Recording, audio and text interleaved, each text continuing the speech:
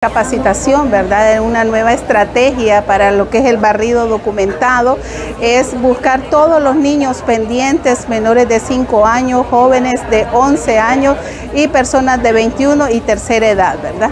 Eh, vamos a andar de casa a casa, es una estrategia que se va a hacer en los ocho municipios del departamento de Atlántida. ¿Por qué se está haciendo esto? ¿Por qué se está haciendo? Porque estamos con una alerta, ¿verdad?, de casos de sarampión en países vecinos. Nosotros somos el tercer lugar en lo que es el departamento de Atlántida, el tercer lugar a nivel de Honduras, que está con bajas coberturas, que las madres no llevan a vacunar sus hijos, tanto los encargados. Entonces estamos haciendo esta estrategia para poder prevenir enfermedades. ¿Van a andar de barrio en barrio? Sí, vamos a programar todos los barrios del municipio de La Ceiba y los siete municipios más, tanto en Tela, vamos a estar eh, visitando eh, a, su puerta y vacunando. Es un derecho del niño. Así es, tenemos una ley, ¿verdad? Y también uno de los derechos es la salud y es primordial para los niños para que prevengamos enfermedades. ¿Qué niños deben de ser vacunados? Todos los niños menores de 5 años, jóvenes de 11, de 21 y personas de la tercera edad. Aquí es familiar lo que es la vacunación. Licenciada Alvalidia Sánchez de la OPS. Licenciada, ustedes están acompañando este proceso.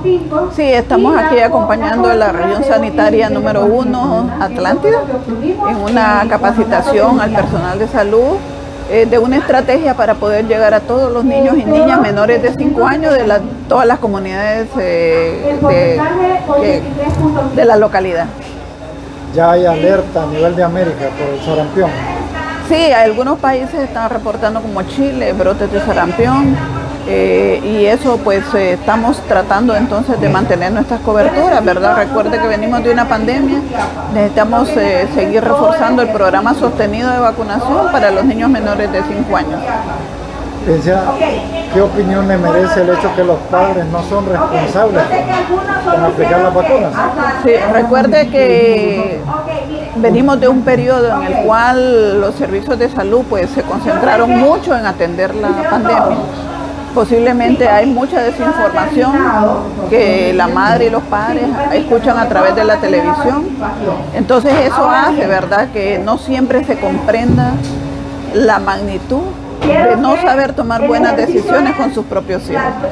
¿Verdad? Hoy en día muchos padres y madres no saben ni siquiera el concepto de lo que es una poliomielitis, un sarampión, porque quizás no lo han visto, pero las enfermedades siguen existiendo.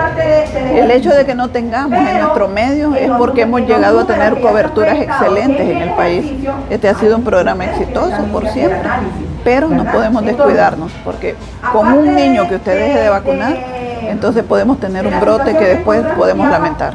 ¿Esto es altamente contagioso, sarampión? Sarampión es altamente contagioso y también causa mortalidad. ¿Qué manifestaciones se dan? No, el sarampión pues es fiebre, erupción en todo el cuerpo, pero no, no solamente es una cuestión de erupción, es una cuestión de cómo afecta a los órganos internos del niño porque es un virus agresivo, ¿verdad? Entonces pudiera que el niño quede con secuelas. ¿Verdad? Más allá de lo que la madre se puede imaginar. Y eso es lo que queremos evitar.